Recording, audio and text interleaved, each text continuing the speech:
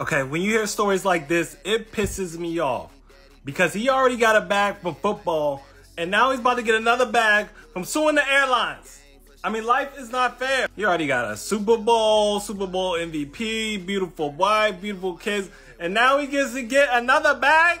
What type of Tracy Morgan shit is this? okay? Tracy Morgan already had a great, successful comedy career, gets hit by a Walmart truck, rich for life. He about to sue the hell out of them.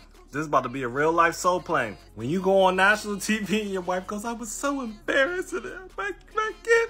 They about to get paid, get paid. You see how he's holding up that Super Bowl trophy? That's how he's about to hold up the check from United Airlines. Thank you. See, that's the problem because black people, we're getting richer and richer. You don't know who's famous.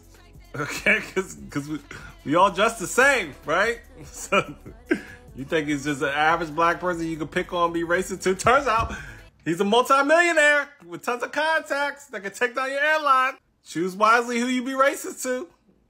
You might catch Robert F. Smith in some sweats one day. right? Gonna buy your airline. Nobody is more petty than rich people. Cause they got time and they got the funds.